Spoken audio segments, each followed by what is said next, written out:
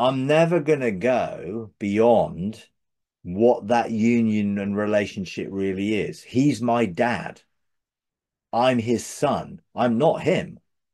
Now, I think some people are beginning to push the boundary of that into, well, I'm God. You know, and well, I we're all God. And we're this cosmic part of the cosmic consciousness, which is God. No, we're not. We may be united with one mind in Christ, but it's his mind that we're united with. Our minds don't make up his mind. Our mind is united to his mind. And that's where I feel some things have started to go into more of a pantheistic sort of view of this. Well, you know, well, our, our corporate mind is God. Well, perish the thought that our corporate mind is God. I would not want eight, seven billion people, their corporate mind making up who God is. It's like that's why there's so many different religions, all believing so many different things about who God is. We just watched your video on intention. Uh, I love that. I love that video. Um, there's a lot there that uh, you say. Now, I'm wondering, how do you apply that to co-creation? And how does that work exactly? Uh, well, not exactly, but I mean, you know. Um, when it comes to creating, you you have to, for me, I would only create something that came out of the Father's desire, out of his heart.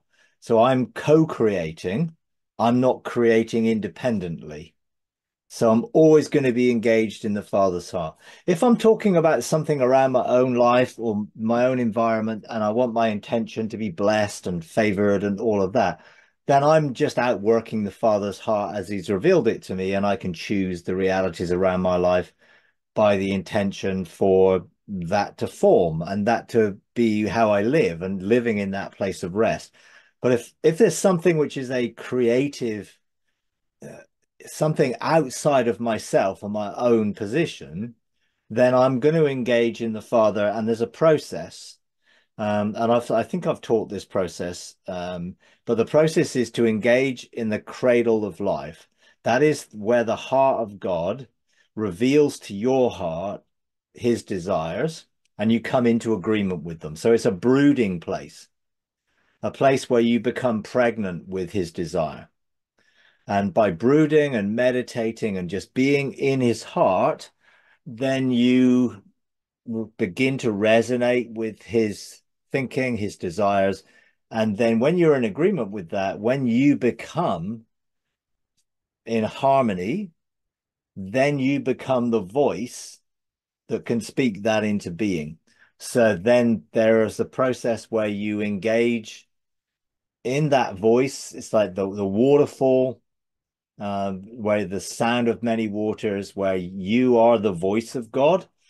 And engaging becoming his voice then takes you to a place where you eventually end up in the chamber of creation. And you can go through various stages to get there. Um, and in that place then when you speak light responds and you can create. Now now i'm describing a process that becomes a state of being in that when i created for instance some guardian beings I didn't um I didn't consciously go through all of those steps. It's like, well, I'm going to do this, I'm going to do this, I'm going to do this. It it it's where I dwell and where I live. So when I was in the Council of Guardians and they said, "Will you create some guardians?"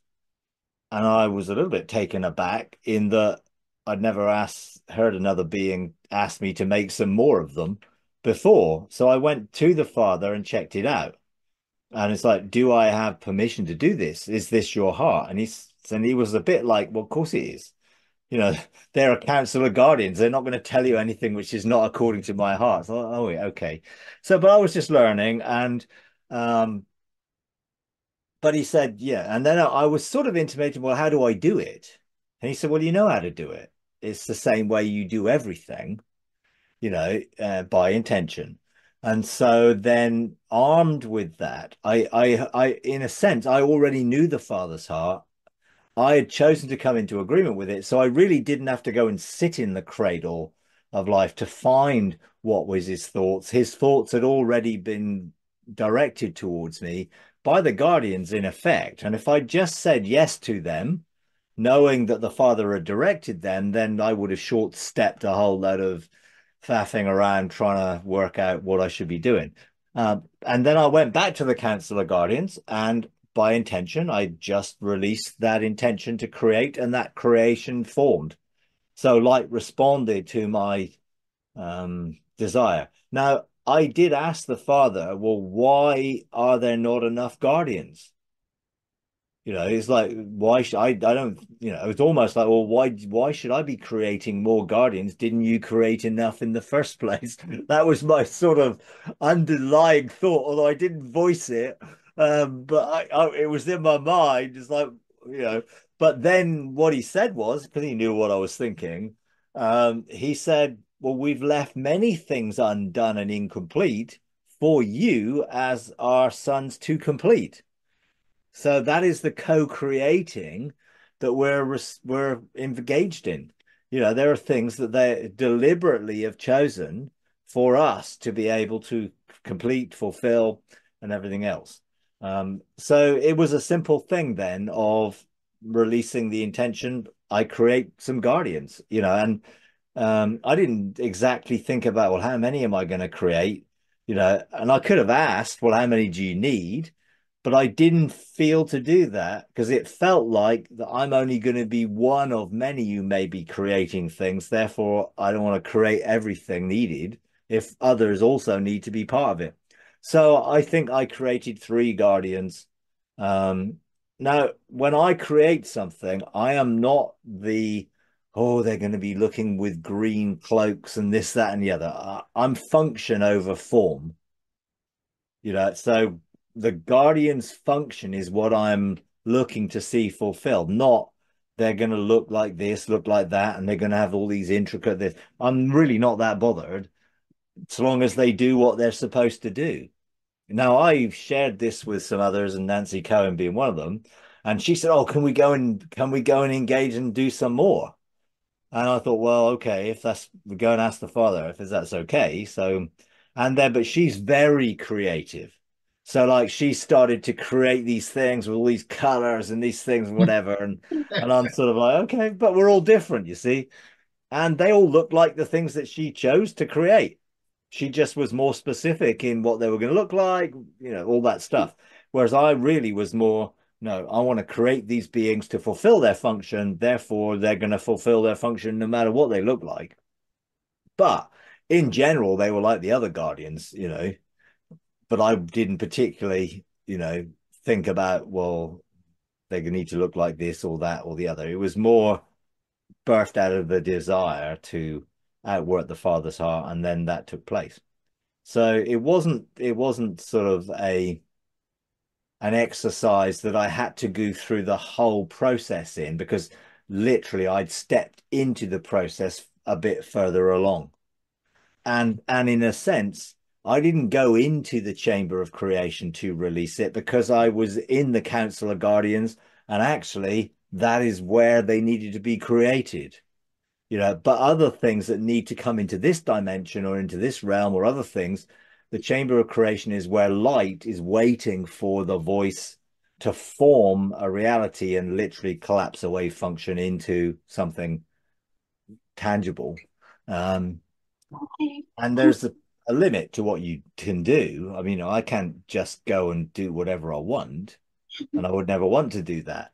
But when I do engage, it it is like light is a swirling, dancing, living thing, quantum lumens, that when I speak, and I'm not talking about, you know, having to speak words with my mouth because I'm in the spirit, but when I'm releasing my intention as my thoughts in words, because they are words, you know, literally light responds and you can see it begin to move into formation until something is formed um, in that way. So, you know, I I learned the process by backwards in effect because um, I went into the chamber of creation first, you know, and in engaging in that chamber, wondered what everything was.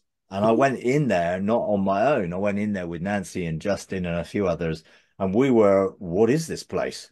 You know, and actually, you know, it was something that we were all drawn to, you know, on one of the backgrounds that I have of the cosmic reef. And there's a blue sort of portal, and in the middle, there's a point of light. Um, literally, you could say it's an event horizon from that realm into this realm, which releases creativity.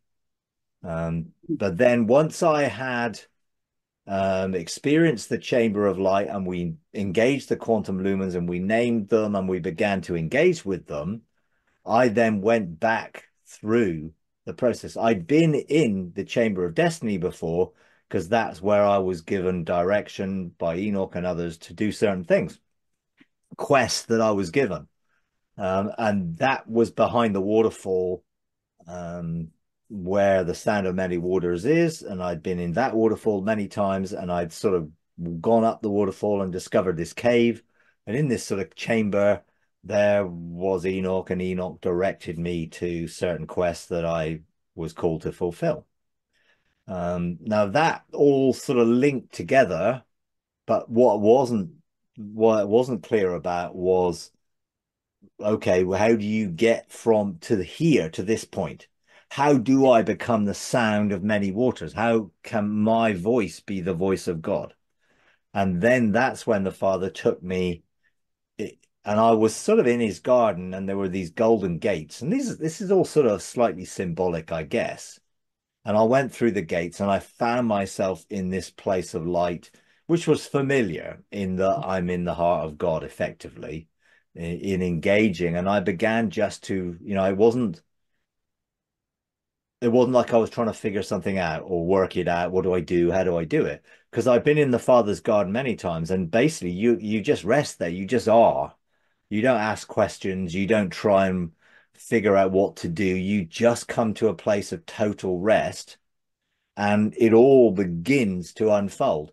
So going through these sort of golden gates into this place, it was like I just totally relaxed, and I just floated in the, in it, and that was the place of brooding, where it was like something was being incubated, God's thoughts, God's desires, that was beginning to touch me, and in touching me, I began to resonate with those thoughts. My thoughts and his thoughts were in agreement, in harmony and then literally uh, that I was his voice. I could speak those thoughts into being, so I went um, to, you know, the the waterfall. It was like something's happened in me. Something is is is is pregnant in me. How do I release it? And I found myself at the waterfall, and literally the sense of the sound of many waters. I was sort of formed into that sound it was like my thoughts were his thoughts, but I was not yet a sound. I was not yet the hmm. frequency of it. And by being there under the waterfall, that for me sort of formed me into a sound that meant I that light would respond to me as it would respond to God. You know, um, because we are his voice, because we've incubated his heart We're ready to give birth to his heart. Therefore, how does he create things? He calls things that be not as if they are. So now I'm the voice that can call things and they will be in that well. Now, this is not a, well, I can do whatever I want. It's, it is very specifically aligned to what I've resonated with and come into a harmony with. It doesn't mean, oh, I'm the voice of God and everything I say will just instantly happen. You know now that might be what we become when we become fully mature and fully um, ascended fathers if you like in that in that role. But at the moment I, I go through the process. I want to know the father's heart.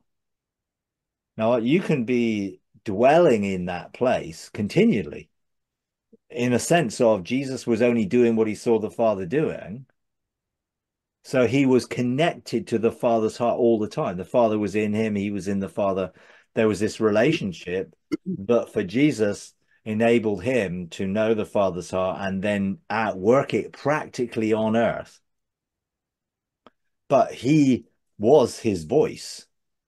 You know, the whole process was still taking place, just whatever he was doing in the spirit was out working simultaneously on earth.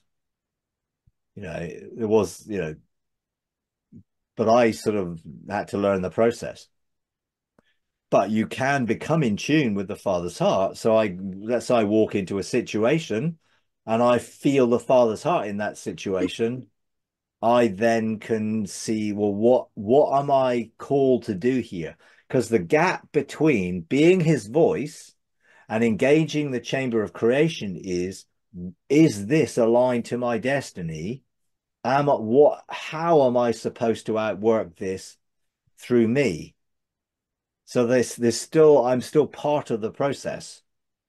And it's not automatic. It's almost like you you are his voice but now how how is that outworked through who you are as a son in destiny, in your destiny? Um, and that might be different for other people than it is for me. So how I outwork it in the chamber of creation is dependent on how it aligns to who I am in a creative way.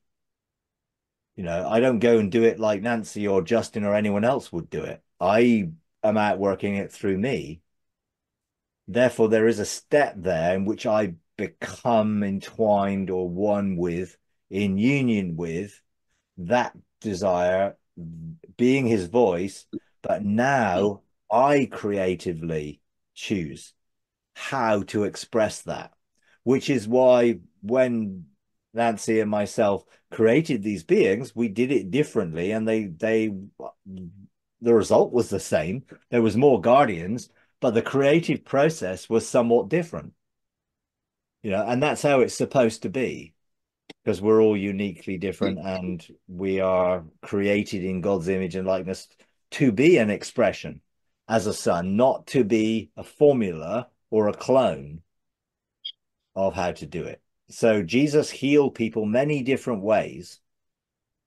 I think as an example to say look there's not just one way of doing this you can choose whichever way you want to do this through who you are. Therefore, my thought processes in my heart will be different from yours. So it was very unlikely that anything would ever be exactly the same. Because God is releasing his heart, not a set of detailed plans and architect's drawings of what you've got to do. Otherwise, it just becomes you just end up being a robot that fulfills a program. Whereas it's not like that. God is including us in the creative process that enables us to outwork that process through us, which is, I think, great. You know, I think I think it shows how God treats us uh, and sees us and how he's made us and trusts us to be an expression of his heart you know and if you're not free from the view of well i've got to please god and be obedient and do it all the right way then you'll have fear attached to the process well i've got to do it right. You know you've got to become free from fear and free from duty and obligation to be yourself. You know and be an expression of your creative self in how you outwork the father's heart and therefore, we could have 10 people in a room all out working the Father's heart, and it would all look different. But the result would all be the same. You know, and I think that's that's just how God is wonderful and hasn't made us all identical, but has uniquely and wonderfully made us and has mm-hmm. wonderful thoughts about us and who we actually are. So. I see. So you just answered my question. So it's it's everyone is different and it's about relationship I was wondering, yeah. well, perhaps maybe there's a frequency that we needed to have, or or maybe we needed to hum, or maybe we needed to. But that's not it either necessarily. Well, if it works for you, yeah. I mean, it's okay. I mean, in brooding, right. Thank you. It's a silent thing in that I am just yeah, it's like, you know, what a brooding thing is is like a bird brooding on a, a set of eggs. So they're sitting on the edge, they're brooding, they're keeping the eggs warm. The eggs are developing while they're keeping them warm, ready for them to hatch. So that brooding is a process where I am aligning, being aligned to the Father's heart's thoughts and desires. He's revealing them. They are changing me. Reson I, you know, I'm being entrained, if you like, in terms of resonance. That frequency of his thoughts is bringing me into agreement, so I am harmonized with it. And when I am harmonized with it and it's fully formed in me, in a sense, then it's ready to go to the next stage. But that could take a minute, it could take an hour, it could take whatever, depending on what needs to happen. How much does God show you and reveal in the process? You know, is he giving you every detail or is he sharing his intention and desires and thoughts so that then you can then begin to creatively express those. And I think that's how it works for me. So am I becoming a frequency? Yes, because I am his voice. You know, therefore I am vibrating and resonating with creative energy. um I don't hum in my in but but I that could be a way of, you know, uh, expressing that. And people do do things like that in in a sense um, in a meditative way you know sometimes they focus their thinking on a particular thing or they meditate in a in a sound or they use a bowl or they use a frequency to help focus them you know and none of that is wrong and I, and it's all part of what works for people um, for me it all works inside my head in a sense of I am aligning my my thoughts are being aligned and entrained to his. So it's it's that sort of simple process. I hadn't really thought of the mechanics of it, um, but very clearly, you know, I know a frequency, what it is. God's voice is a frequency, and when God speaks, that frequency vibrates with energy and has creative power to release the result of what He says. You know, um, so, you know, there's no right or wrong exact way. Otherwise, it would become a formula and everyone would try and copy the formula rather than embracing the, pr the process. And in the process, outworking that through you. Um, and if you hum a sound in light response to it, great. That works for you. All good. You know, for me, it's more I focus my intention in my thoughts, and those thoughts are active and carry creative power, and then light responds, and the wave function collapses, if you like, in a quantum sense.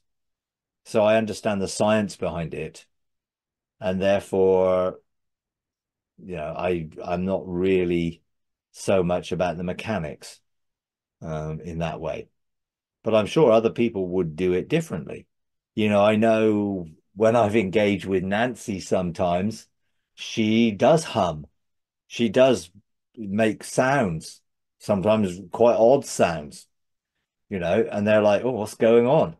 You know, but that's part of her way of doing stuff, you know. And I know when we were looking to engage the energy gates, and we did an activation on the energy gates in a, in one of the restoration of all things conferences that we did the first one i think she used a, a number of different sounds um, and in saying the sounds she put a physical action with it that was all part of getting people tuned to it so there would be a sound an O or an E or an OW or whatever. There were seven different sounds and there were seven different actions. And when it put together, for me, it was a bit like a line dance. It's like, you know, what's going on? It's like everyone's moving and yeah, all this. But she was just trying to break down the process for people. Uh, and I've sort of seen something like it in a in a online movie thing or TV series. Um, I can't remember what it was called. Is it the AO or something? And in that, there were there was these three or four people, and they all had one sound. And when they put them together, it made this energy that opened up a portal. And it is like that. You know, you're producing energy. People will do it differently when I activate the energy gates, I don't make sounds or go and do line dancing. It's like it, it's not me. You know, I just not, not how I would do anything in a in a making a singing and making a, a, a dance out of it. But for it would work if that's how it works for you. And it, certainly Nancy, that's how she did it. You know, for me, it was just like, oh, I just think about activating that gate and intentionally activate it. I don't have to go through sort of waving my arms or doing this or doing the other. But she was doing an exercise to try and get people engaged.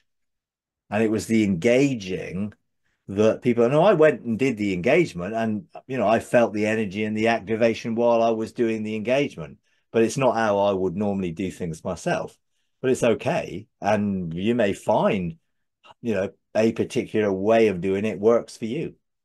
You know, in producing a physical sound or a movement, you know, and I know in watching the TV thing, each sound had sort of a hand movement. And as people were moving things, literally in the movie thing, uh, they connected to another dimension.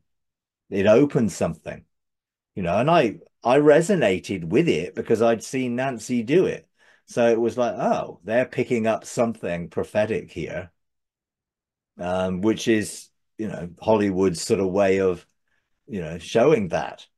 Um, but you know, I know there's a something real about how you engage that and and do something like that. So, Mike, yeah. you guys are so much fun. I love listening and watching you guys. We learned so much. Thank you so much. okay. Yeah, I mean, I mean, I learned having a lot of fun learning how to do all this stuff as well. You know, I didn't start off knowing anything and it wasn't like oh i'm an expert in this, this you know i went bit by bit and sometimes backwards into it you know because god just sort of opened this and oh how does this work? and then took me through the process but ended up in the beginning because i'd already seen what happens at the end you know and that's sometimes that way it works. And sometimes you know there's something that i only put together in hindsight realizing that five things that i've done over the last nine months are all connected. I didn't see the connection at the time. I just learned nine things. Then, ah, now these I see how these nine things fit together into a pattern that then is something that is a creative place to to release something. But I didn't know what I was doing all the way through. You know, it's a little bit like, you know, you just sort of keep going, and uh, eventually it makes sense. You know, to the degree it does. But it's it's a fun, interesting journey. You know, it's it's not, um, it's not this classroom that you're sitting there with a teacher who's really stern. It's supposed to be fun. You know, it's supposed to be life. You know, it's not like oh I've got to do this and you know it's all heavy. It's not like responsibility in heaven. It's not heavy oh, I carry the weight of this responsibility. I've got to get it right. It's not like that. It's a privilege to be involved, really. That that's how I feel about it. Hi, Pops Mike. Hi. um, so I don't know. I I'm not sure if you made a video on this or not. Um, so I feel kind of feel bad for asking. Okay. Um, but my question actually, because I feel like uh I feel like God is like he's like deconstructing like ideas of like separation that was kind of put here by like what we've been learning in church and stuff and since we stopped going to church and all that. And um I guess what I'm what what I've been asking people and I haven't quite got like um I don't know like an answer where I guess I could kind of understand it a little more was um I guess what is um like union with God? Like Okay. no, now we're in, you know, because of the incarnation and now like you know, or we're in union we and Hmm. I don't know, like Yeah. we're we were always in union and now we're just awakening to it because of Jesus and I, I would love to hear your Hmm. Okay. yes. Yeah, I mean, again, it's a journey that everyone sort of comes from a different place to. And you know, there's the theological sense of, you know, that we are included in Christ and God's in us and we're in him and and you know, but most people know that's true, but most people have never really experienced that truth. So it just becomes, well, here's the theology of union. This is what the Bible says. Well, you know, God is not so much interested in theology as experience. So what does it mean to be in union? And I would say that there's a process that takes us into deeper union. You know, becoming one, you know, whoever's joined to the Lord becomes one spirit with him. Okay, well, how do you become joined to the Lord? Because it, just says whoever is once joined to the Lord. Well, how do you become joined to the Lord? Is that something you do? Is it something he does? Is it a process of relationship? For me, it was a it was a a invitation to come into a consummated relationship of intimacy that took me through uh, a marriage, if you like. You know, that that's how it was for me. So I began to engage the Father within the garden of my heart. Mhm. That began to become an intimate place where he looked into my eyes and communicated his desire for relationship and oneness with me. Now, I didn't know what that meant. I just received the invitation to become one. Will, will you marry me? Let's say, was the sort of his desire. He was showing me that he wanted relationship with me. Mhm. And then as I came into agreement with that, oh, yeah, I want that. I want that. I didn't know what it meant. I didn't know how it would be outworked because I only looked backwards to see it was like a process of marriage. I didn't know that that was happening in the beginning. God never said, Will you marry me? What he said was, I want you to be mine, you know, and and as words to that effect, you know, but the emotion was, and I felt the deep desire of his heart for that oneness, even though I couldn't describe what oneness and union was at that point. But I responded with yes. My heart was yes, you know, and therefore we spent time just being together, to which I began to know him better, heart to heart. So there was this cardiogenosis knowledge of the heart that took place. Not so much him telling me things or speaking to me in that place. Um, now, we did have many conversations uh, in other places, and we had conversations, you know, when we would just engage and I would be hanging out with him and I would journal the conversations. Great. In that place, it was almost silent. But I learned to know his heart and I learned to feel and sense. Mm. And I think that was the place that really started to prepare me for deconstruction because what I was feeling from his heart to know his heart didn't align up with my thoughts. Because my thinking about God was what I'd been taught on what I believed. And that has come through my religious teaching upbringing and stuff. And so, as God was revealing how good and wonderful He is, my mind couldn't accept that. It was just too hard. No, I didn't know what that preparation was about until later you go back and say, then when God begins to deconstruct that way of thinking about what happens to people after they die or hell or any of those things, it takes you back to what you discovered in that moment. God is good. God is love. all of that, then it's like, oh, this makes total sense. It's at that point when the deconstruction takes place, it's like the cognitive dissonance happened when God revealed his heart and my mind couldn't take it in. You know, it was just too much, too good to take in, if you like. So there was cognitive dissonance. You know, God was revealing something that my mind couldn't cope with. But that was okay because that was part of when he then actually started to tackle different belief systems and things I believed. When he tackled it, it wasn't like, no, I'm not agreeing with that because I already agreed with it in my heart. Now with my mind. So it was just aligning. My my heart was my mind was aligning to my heart. You know, and it, for most of it, although you know the deconstruction process is not an easy one if you come through quite theological background and you have set pattern of beliefs you know obviously i came from an evangelical background developed into into uh, charismatic and then sort of moving on into sort of a more of a mystical thing it's like this was a journey that I was just walking. I didn't really know where I was going when I started, you know, and I just carried on walking it out.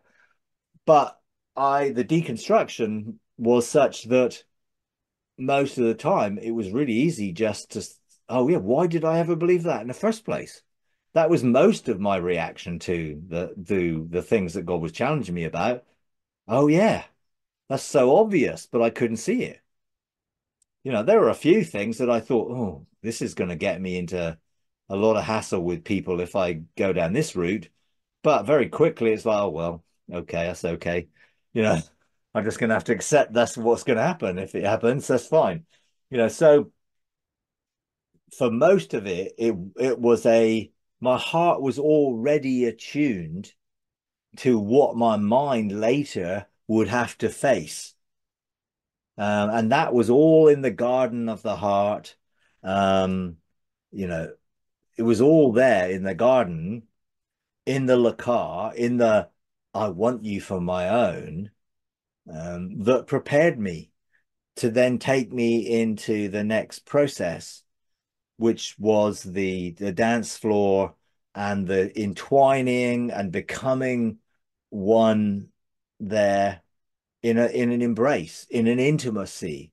And as God danced me around, it was revealing my identity to me and revealing how that was my destiny was to be.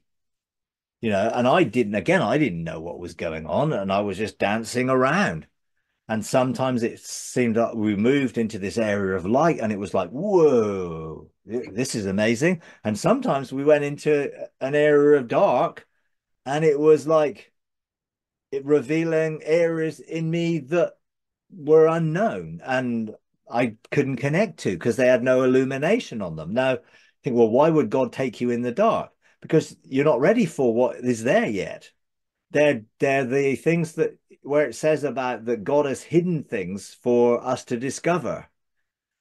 And some things there were illumination and it was amazing, and other things there was mystery you know, and it was a mystery which I wasn't ready yet to enter into. But the experience prepared me for what was to come.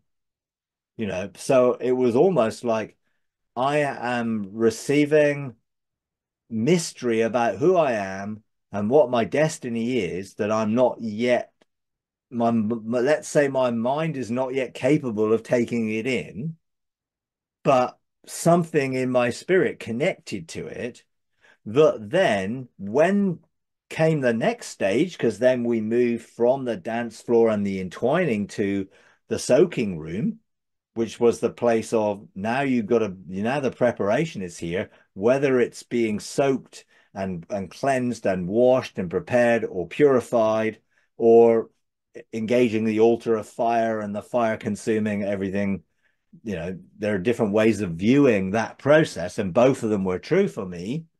In that place, I was motivated to go through that process by what had happened in the previous two places. So I did wasn't resistant, but I, uh, you know, to initially, you know, because there was this invitation to participate. But what God was doing was getting me to the point where I would be able to totally surrender. So that soaking room ended up into the dark cloud experience where I had to come to the end of my soul. My soul could not go any further into the mysteries that were revealed, know, on the dance floor. I couldn't go any further until I, my soul and spirit were separated and reintegrated because my soul was still had a measure of control, but also motivation in that I needed to validate my identity by doing things. Well, that was not going to work because everything about who you are is about a state of being, not a state of doing. So I had to go through the dark cloud experience and come to the point of surrender. Jesus separating my soul, spirit, the thoughts and intentions of my heart, you know, bone marrow, the sort of the source of my life was in him, not in myself. All of that needed dealing with. He dealt with it over a four month period of quite intense emotional pain. it was pain for me, my soul, because my soul had to recognize what it was like independently of spirit and God, you know, and I didn't like it, you know, but, you know, God allowed me to voice my feelings and emotions and everything else to come to the point where hands up, I give up. Do what you need to do. You know, so then once I had gone through that and then reintegrated me and made me whole, sort of spirit, soul, body in a in a in a sense of wholeness, um, and my soul no longer needed to validate itself and no longer needed to dictate, you know, the terms of what I was doing when I was doing it. Suddenly, my soul and spirit were then operating in different realms, but connected you know, my my reintegration from spirit to soul was with a quantum entangled perspective that I could be anywhere, you know, and my spirit functioned in that realm. Whereas before, I was tied to my soul. So I would go into heaven, come back out, go in, come back out, you know, rather than my spirit dwelling there, seated with Christ in heavenly places. The consciousness of my spirit, although I was seated with Christ in heavenly places, the conscious connection to it was unable to be understood or, or realized because my soul kept coming back out you know and therefore this tether was very much outside in short. I was going in having amazing experiences coming back out. But god wanted me to dwell there consciously in my spiritual consciousness which connected to my physical consciousness if you like of my mind.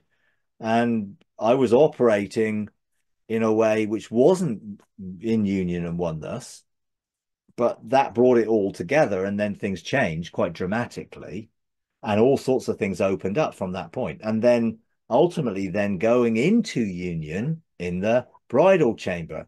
Now, this is not a sexual union, but it's just as deep as a sexual union, because that is what 1 Corinthians 6 17 describes whoever's joined to the Lord. We'll go back a verse and it talks about whoever's joined to a prostitute becomes one flesh with her. So there's this sense of this is real union. Now, again, I didn't know what to expect, you know, and I had these things like I'm invited to come into this place. Well, I went in to the meet the person of God. You know, that's the union that took place. Now, having gone through this whole process, uh, having had my soul spirit separated and reintegrated, I went into the person of God and face to face engaged with God. I couldn't cope.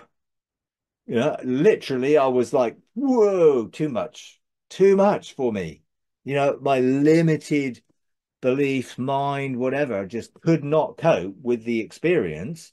So I came back out really quickly. But I had seen God and I had experienced something that was too wonderful for me to explain or to experience with my belief of who God was. Because again, this again set up cognitive dissonance and prepared me for experiencing the true God. Because my religious God didn't line up with what I felt in that brief experience. It was just too wonderful for who I believe God was, you know, in my mind. So I had to go through the to know God. So the union was actually becoming to know Him and dwell with Him. So this is back in 2012. I then went through, you know, years of deconstruction of actually seeing who God really was, becoming more intimate in who the true God, having that false God and the God who needed me to serve him and needed me to be obedient to him and needed my duty and obligation and all of that stuff, you know, that all fell away as he began to challenge it. The old covenant God that I was still believing in, you know, all of that was being challenged. The whole process unveiled the true nature of God to me. And all the way through that, I I still had encounters that brought me to a different place. And I went through the Firestone experiences of you know nine encounters on the Firestones, which took me into different levels of identity as a son and you know what all that was about. So there were many different strands of experience that were all leading me to union. And, you know, I look back now and think, wow, God had a big job on his hand to get me to this place, you know, you know, and because I was so far from it. But I've just carried on with the journey and the different strands, not knowing how they would all fit together. You know, they they were all experiences and encounters. I didn't understand they they were linked and there was a goal at the end of it, but there was. So during the next, I, I guess, 2012 to maybe 2017, 18, I went through many experiences and encounters that truly started to reveal the true nature of God. And I began to meet him face to face more often. And I was able to stay there longer until I was able to dwell and you remain in that place where I engage God in the light of perfection, in this realm of light, in the realm of perfection, connected to eternity uh, and connected to the eternal now. And that face to face, heart to heart, mind to mind union where I became one with his mind, the mind of Christ. I became one with his heart. And that place of union is where he reveals on a daily basis, if you like, his heart, his intentions, you know, not as a series of instructions or a list of things to do today, but more an authorization to be, to be me, and my destiny is not a series of things I'm going to do, it is who I am. It is the revelation of who I am, which then enables me to outwork the things I, I do as a result of who I am. But before, I was doing things that validated who I was.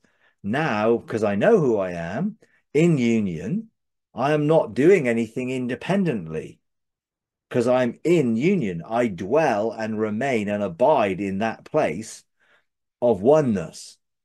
So for me, this is a long journey that was needed to get me to that place where I would say that I am in union. And along the way, it was like I'm one spirit. Well, what does that mean? Because obviously, my spirit is a being. How can I be one spirit? Well, that was helping me discover my origin in God, my original origin in the heart of God, where my spirit was formed out of his spirit, because he is spirit, everything comes out of him. And my spirit was formed and I became sentient and an a a individual being, but not independent of God. And therefore, you know, I existed as a being before I ever came into this realm. Um, and I began to rediscover what it was to be one spirit in that way. So it became more seamless. Was the Holy Spirit telling me something, or was my spirit speaking to me? Well, it's me. So I know things.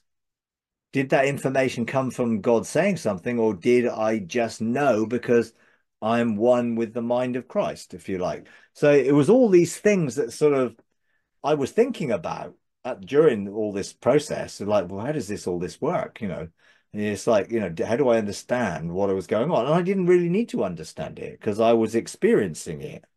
But if people ask you questions and you teach things, you got to come up with some sort of way of being able to communicate, well, what is this? So that people can grasp what you're trying to say, even though words don't really fully convey everything of it, it's better experienced than be told about. Um, but, you know, I did my best to try and convey what was happening on the journey of me becoming one um, and becoming in union. Now, I'm never going to go beyond what that union and relationship really is. He's my dad. I'm his son. I'm not him. Now, I think some people are beginning to push the boundary of that into, well, I'm God. You know, and well, I we're all God. And we're this cosmic part of the cosmic consciousness, which is God. No, we're not. We may be united with one mind in Christ, but it's his mind that we're united with. Our minds don't make up his mind. Our mind is united to his mind. And that's where I feel some things have started to go into more of a pantheistic sort of view of this. Well, you know, well, our our corporate mind is God. Well, perish the thought that our corporate mind is God.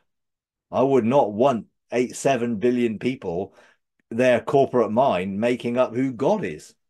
It's like that's why there's so many different religions all believing so many different things about who God is. It's like God is God. He is Father, Son, and Spirit, family that has birthed and formed creation. And we are invited into that union and oneness with Him. And so I am joined to His mind and I can sense and feel His mind and the things He chooses to reveal to me but I'm not him, you know. So I think you tend you sometimes you get a swing too far before it comes back into balance. You know, the pendulum swings and then it comes back. And I think some things I've seen and heard are just going too far. And hopefully people will come up back into balance around it. But you know, it is it is a relational and experiential union of being one and having a consciousness which is not disconnected from God. It, it is in union with Him and oneness with Him and being connected to His mind and His heart and His thoughts so that we can be an expression of them in relationship. Um, but it is a beautiful place and it's a place of rest and it's a place of being loved. You know, how I would describe union, you know, would be absolute rest. It, you know, bliss is what other people might call that sense of being. Um, but that's not for me this well, this outward expression where I'm wandering around all blissful. This is a union, which is a deep inner relationship, you know, that I can express and I can outwork. Um, but there's there's a sense where there's still a mystery. There's still more. There's still a deeper place to go into it because my mind is still not capable of containing all the thoughts there are about God. I've not even contained all the thoughts there are about me. You know, there's way more that God has thoughts about me that I don't even know yet You know, so let alone, you know, I, I remember, I think it was Ian Clayton was sort of talking about walking in heaven and walking with the Spirit of the Lord, I think. And the Spirit of the Lord saying, Well, what what do you want? And and he, he I think he said, Well, I want to know everything. So yeah, he picked up a blade of grass and the blade of grass communicated some of what it knew and he he dropped it because it was too much for his mind. One blade of grass was too much let alone the full mind of god you know. So there is still a mystery and there's still the journey and the relationship where he reveals and unveils himself and reveals who we are um, which will then take us into maturity and levels of relationship and oneness with him which are beyond where we are right now. But you know i couldn't imagine anything more wonderful than what i've got right now. But then i've probably said that 20 times in the past you know so you know it, it is only going to be more wonderful uh, because god is good and he's love. So you know the last couple of years when I've been sort of teaching unconditional love and now looking at the restoring of first love, you know, I couldn't have actually conveyed all that a few years ago. You know, it was the foundation of when I talked about limitless grace and triumphant mercy and all those things. But I was not able to convey unconditional love because I was still at that time too too busy with what I was doing and not enough living in a state of being. And as I was things changed and circumstances changed and I you know God first thing he did was stop me doing the Vision Destiny series and stopping me journaling was was because he wanted to teach me how to be in union, not just have conversations with him and talk to him but to be in union with him. And so the last few years have been discovering what it is to be in union. And that is more of an intimacy and knowing him in a way where wherever I am, whatever I'm doing, and enjoying creation and being here in a way that I would have not been able to do if I wasn't in this state now. And therefore, the relationship is very different. And the communication is at a deeper level of knowing rather than at a cerebral level of information that I assimilate and understand. It is, I know things. Sometimes I don't know what I know, you know, until I start doing it. And so when I started to do unconditional love, I didn't know it was going to be 23 sessions.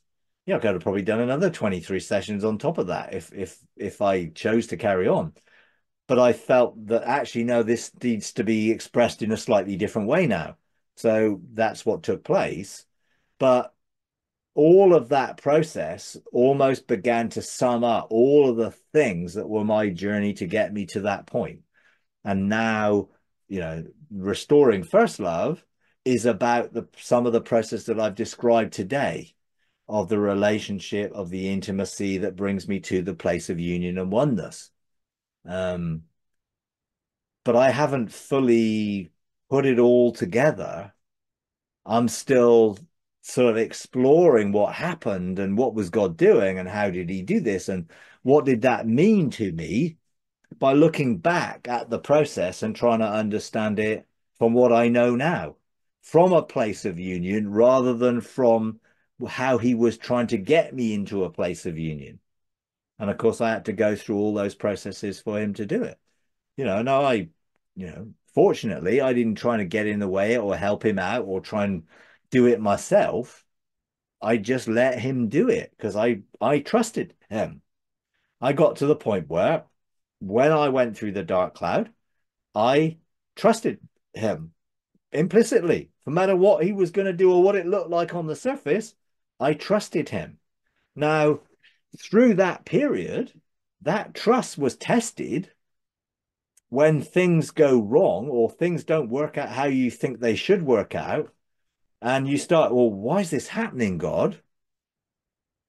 You come down to the thing of, I don't know, but I trust you. So whatever you're going to bring out of this, I trust you, that is going to be for my good and benefit. I don't understand. I wouldn't have done it this way. I wouldn't have wanted to go through this or this or the things I've gone through emotionally and the betrayals I've had and the different things that have happened to me. But what it did, it showed me that I trusted God even when I didn't know and understand what was going on. And sometimes that is the key. Yeah, while I'm going through it, sometimes it's too much for me to understand, but I trust God. So I just hold on to his hand, you know, trusting that he's going to lead me through whatever I'm going through and he's going to heal me and restore me and use that situation in my life to bring me into a state now. You know, and if I wasn't where I am now, that union that I have now wouldn't be possible. So I had to go through the processes that brought me to here. Um, and that was something which was really hard at times when I had to let go of certain things that I felt I need to fight for. And God was saying, no, let go. Well, I can't let go. It's not right to let go. Well, I'm telling you to let go. You know, then, well, what am I going to do? Well, let go. Even though I didn't want to. And I still felt like, oh, I don't want to let go. I want to, I want to fight for this. No, God knows better. And even though it's like this doesn't compute to my mind how this could be, he knew. And he was all part of unfolding and outworking through difficult situations something that would bring me into a place of union that I never dreamt really possible. You know, um, so you know, it's a it's a journey. It's not an easy thing to explain, and I don't think you can truly know what it is until you experience it yourself through who you are with God, because it, it won't be the same as I feel or sense or feel. In a sense, the overall picture of it is, but the individual elements of it, you've not come from the same place I've come from. You know, so you won't take the same journey that I take, but you will up in end up in the same destination. And you will be able to probably, like me, say, well, I can't really explain it but you know, when you get there, but you know it, how good it is, and how how it feels like it was always supposed to feel. Because you are discovering you're the origin that you had in spirit before you came into a physical dimension, and then the soul and body that has only lived in this physical dimension catches up with the knowledge that your spirit has. So you become one in that knowledge with him. And then that union is in the core of your being, which then connects to the energy that you have, the life that you have, the river of life, the energy of life, the Merkaba within the core. Your connection to creation is discovered in the innermost parts where that union of Father, Son, and Spirit and Spirit, Soul, and Body are one there. So there is a sort of a place within where that oneness takes place, if you like, as well as you being in Him. You know, I dwell in the realm of face to face with God, but God also dwells within me in that union at the core of my being. Um, which is why you you have to be able to function in two dimensions or multiple dimensions, really. But you know, at least the inner relationship and the heavenly experience, they need to be one, unified, um, but they're different. But they're just different expressions of the same union, you know, that we experience here and we experience there, you know. But whatever I experience there is connected to me here, you know. So it's not like I'm separated from it, but I'm not always cognitive of what's happening until it becomes cognitive usually actually when I share it with other people. You know, I suddenly start sharing things which are not cognitive memories of knowledge that I have, you know, and that sort of is a is a constant experience, which is great, you know, because you don't have to figure it out and work it all out. You just have to learn to be.